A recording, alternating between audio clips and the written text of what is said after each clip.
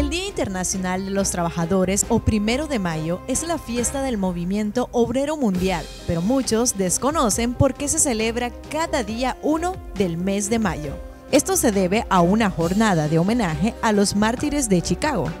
sindicalistas anarquistas que fueron ejecutados en Estados Unidos por participar en las jornadas de lucha por la consecución de la jornada laboral de 8 horas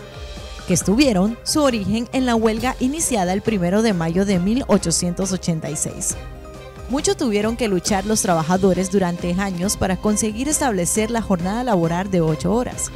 incluso pagándole con sus propias vidas. Hoy en día la jornada del Día de los Trabajadores se ha convertido en una efeméride festiva, pero no hay que olvidar que la fecha se ha establecido en homenaje a aquellos que lucharon por una vida digna para todos los trabajadores y trabajadoras. Para celebrar este día, muchas personas asisten a concentraciones de trabajadores donde se establecen mejoras en las condiciones de trabajo. En el mundo del 2020, confinado debido a la pandemia de COVID-19, el primero de mayo, sin sus tradicionales marchas, será totalmente inédito. Pero los sindicatos aprovecharán esta fecha para hacer hincapié en el papel crucial de los trabajadores en primer línea durante la crisis sanitaria.